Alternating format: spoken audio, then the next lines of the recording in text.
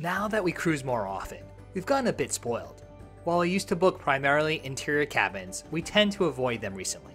So, for our first ever Carnival cruise, we booked a balcony room on Carnival Panorama. If you want to know more about this type of accommodation, you're in luck. I'm DB from EatSleepCruise.com, and we share our thoughts in this complete Carnival Panorama balcony cabin tour and review. Our balcony cabin was room number 8387, which is considered category BD on the ship. This aft stateroom was on the starboard side. It was a short walk to the aft elevators, or a bit longer walk to the midship elevators. Unlike some cruise ships, Carnival Panorama does have three banks of elevators, meaning you're never too far from one regardless of your stateroom's location. Deck 8 is only two decks from the Lido deck, which is deck 10, and three decks above the upper promenade on deck 5. For us, we felt this location was ideal, as we could easily walk to the popular decks. Also, we never heard any noise from either the outdoor decks or from the bars and restaurants closer to the promenade. Carnival Cruise Line indicates that a standard balcony room is 220 square feet. On our first impressions of the cabin, we thought it was on par with similar staterooms from other brands like Norwegian Cruise Line or Royal Caribbean. The space was certainly adequate for two adults cruising on this seven night voyage. The layout of this room had the bed located closer to the balcony door, which is actually our preferred layout. Upon entering the room, we passed the bathroom on our right. The bathroom was pretty basic. The shower did not have a door, but rather a shower curtain.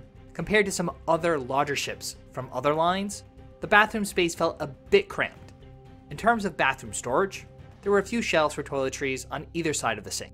Though, we could have used another storage space in the shower to store his and her bath products. Continuing into the room, there is a closet on the left. The storage space here is maximized for families with a few different configurations possible. For those with little ones, there's an option to have two clothes racks so you can hang children's garments on the lower one. We folded up the bottom rack so we could utilize one full length rack to accommodate dresses and our formal outfits. Along with these options, there was a standard set of shelves with some drawers for storing additional clothing items or shoes. The desk area was a bit smaller than what we've come to expect from other brands. Typically, there's enough space for our electronics, along with space for the princess to get ready. Unfortunately, this was not the case in the Carnival Panorama balcony stateroom. I had to store some of my gear on the shelves off to the side, and the remainder just stayed on the sofa. Further, there was only one drawer on the desk, which housed the hairdryer. Across from the desk was a sofa and coffee table.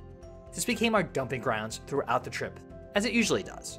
Later on in the cruise, it also became home for our Towel Animal Farm. As furniture goes, the sofa was comfortable and was on par with other balcony cabins. Further into the room, there's a flat screen television mounted to the wall.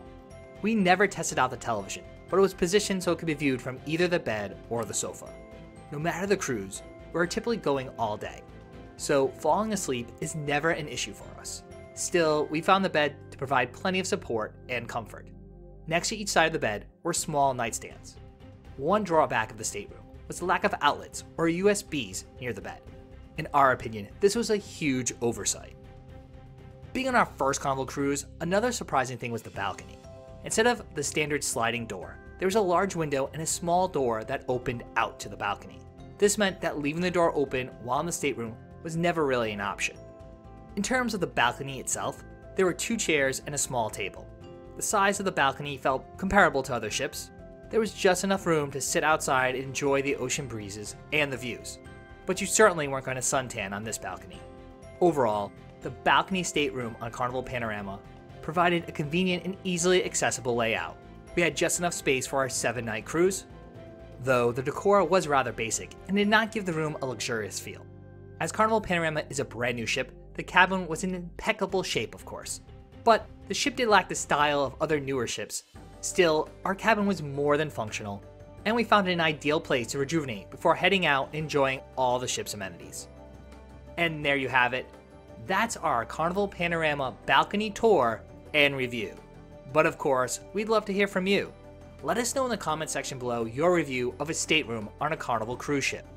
I'm DB from EatSleepCruise.com, and if you enjoyed this video, we'd really appreciate it if you gave it a big thumbs up.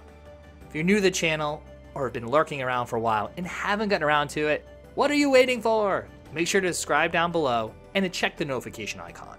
That way, you get updated whenever we put out brand new cruise videos each week.